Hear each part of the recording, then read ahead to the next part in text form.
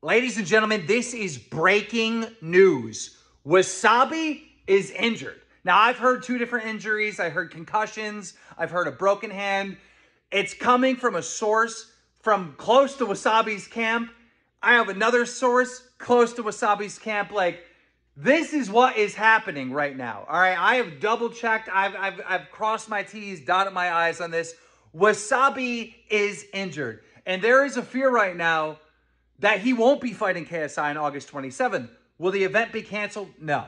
I can tell you for I can tell you for a fact the event will not be canceled though because I talked to Misfit Boxing months ago and just uh, last week with Blueface going out and Misfit Boxing has always said if someone pulls out of the fight, they will be replaced. So I don't think August 27th has any chance of ever being canceled, but there is a chance that we won't see Alex Wassabi.